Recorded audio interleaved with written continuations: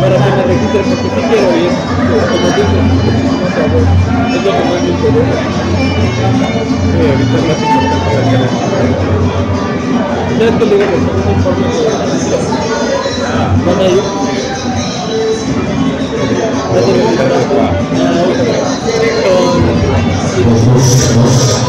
No, puedo ir, güey, la neta. Bueno, compañeros del Gobierno de Comunicación, muy buenas tardes, tengan ustedes. Es un gusto eh, que nos acompañen esta tarde, esta tarde rica. El día de hoy nos acompaña nuestro amigo Rodrigo Artigues, quien les pido que demos un fuerte aplauso, por favor, para que la prensa. Se aventó un Peña Nieto. Nos acompaña también este, nuestra compañera consejera Giselle. Fuerte abrazo. Bienvenida también, consejera nacional. También nos acompaña Jorge Peláez, también consejero estatal y buen amigo. Y pues bueno, la verdad es que nos da gusto que hayan aceptado esta convocatoria. La intención de esta reunión es eh, una reunión informal para podernos conocer, reconocernos y desde luego eh, poder intercambiar algunos puntos de vista al término de esta, reunión. Dejo el micrófono a nuestro amigo Rodrigo Montaña.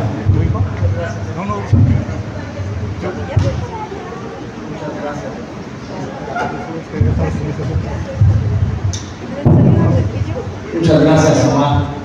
Quiero, primero que nada, agradecer a todas y cada una de las compañeras el día de hoy se dan cita, a todos y cada uno de los compañeros que se dan cita, pues a esta invitación, en realidad es una invitación a comer, es una invitación a platicar, intercambiar ideas, porque para nosotros siempre ha sido pues, muy importante sostener una adecuada, una institucional y una respetuosa relación con los medios de comunicación, porque hemos sostenido desde el inicio que nuestra labor como no únicamente fundadores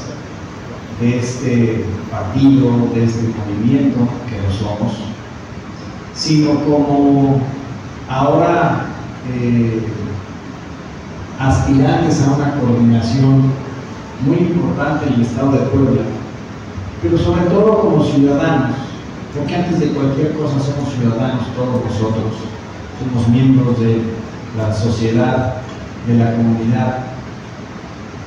Siempre hemos sostenido que la información ayuda a construir una sociedad más fuerte. El ejemplo siempre lo ha puesto nuestro presidente todos los días. Él es un promotor de que la información esté en manos de los ciudadanos, que los ciudadanos dominemos los asuntos públicos, que cada vez los asuntos públicos sean más públicos. Eso es una tarea fundamental. Pero sobre todo estamos muy convencidos y sobre todo estamos conscientes de que a través de la información hemos logrado avanzar, pero sobre todo a través de la información necesitamos concretar el empoderamiento de la ciudadanía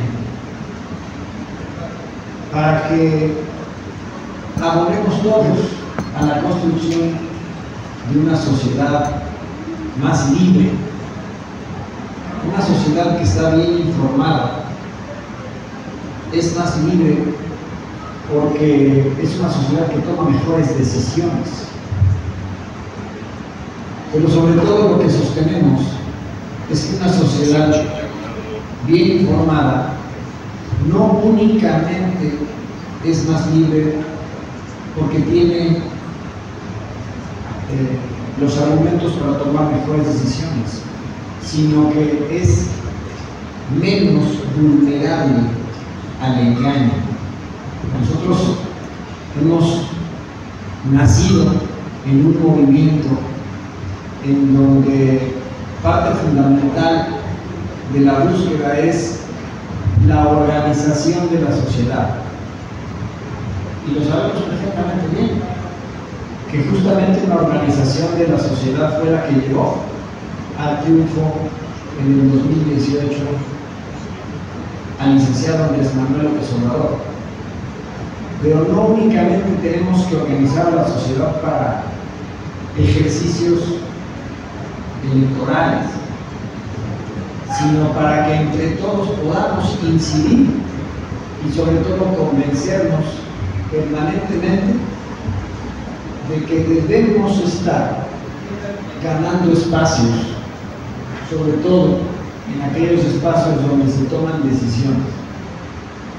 Es por eso que pues hoy más que nunca refrendamos esta eh, este respeto, este reconocimiento, esta eh, labor tan importante que cada uno de ustedes desempeña diariamente a favor de la construcción de una sociedad más fuerte, más libre, una sociedad menos vulnerable al engaño.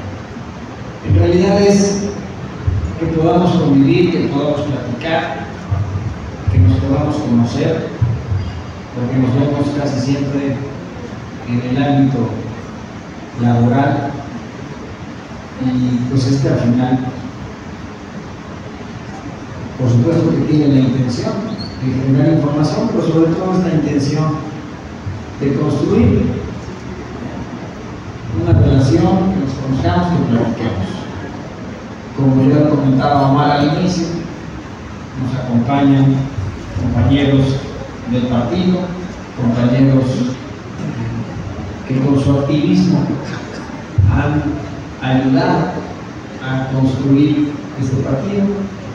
La licenciada, la maestra Giselle Santander es no únicamente miembro del Consejo Estatal, sino es consejera nacional y como referencia es la octava persona, la octava consejera más votada en el último Consejo Nacional, que fue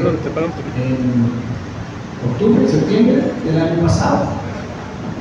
Jorge Peláez es lo mismo, un compañero eh, fundador del partido, consejero, y pues nosotros, todos acá, miembros del equipo, de los que todos somos parte, pues les damos la bienvenida y sobre todo deseamos que logremos seguir construyendo el país que todos no únicamente merecemos, sino el país que estamos obligados a construir.